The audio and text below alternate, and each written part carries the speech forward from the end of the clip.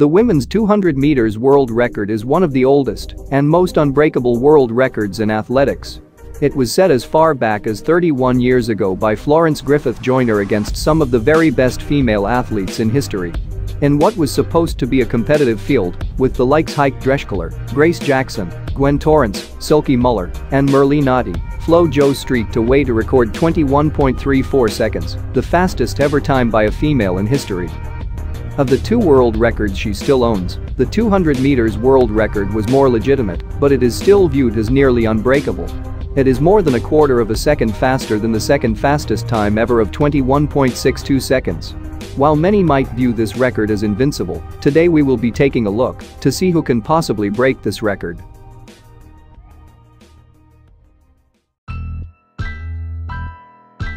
In 2015, at the World Championships in Beijing, Daphne Schippers produced one of the greatest 200 meters runs by a female for the decade, edging out Elaine Thompson in the finals with a time of 21.63 to not only claim her first World 200 meters gold medal, but to set herself as the fastest European ever and third fastest in history. While we might not have had the best of the Dutch sprinter in the last few years, she still is one of the main contenders to get this record, and she still has intentions to do so. In the finals of 2015, she did something unexpected and nearly unthinkable when she ran the race in even splits, sprinting both 100 meters in 10.8 seconds.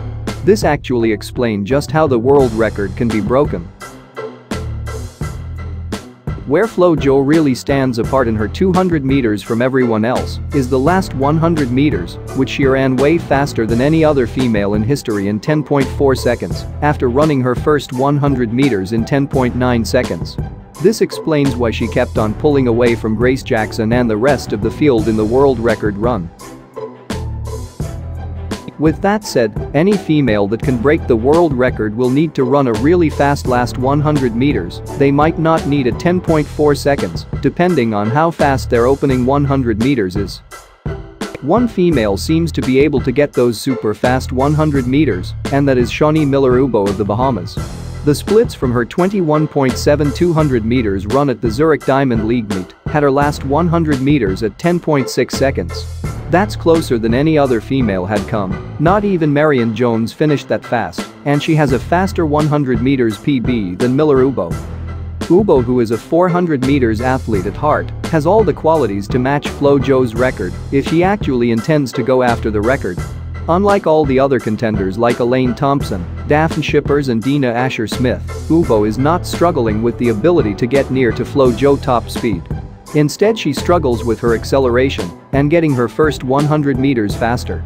To think, in her run in Zurich, she was able to run her first 100 meters in 11.1, which is as fast her personal best in the 100 meters dash, then followed up with an even faster last 100 meters of 10.6. This shows that there is a lot more to come from Shaunae Miller-Uibo. Another genuine contender on the rise is World Under-18 world record holder, Amy Hunt. Her performances in 2019 caught the world by surprise, since prior to that year her personal best was just 24.3 seconds. When she improved dramatically in 2019 to 22.4 seconds setting a new youth world record, it really showed that her time as a middle distance runner was not in vain. Because with a personal best of 11.3 seconds, no one would expect her to have a differential only a few of the best sprinters in the history of the sport could manage.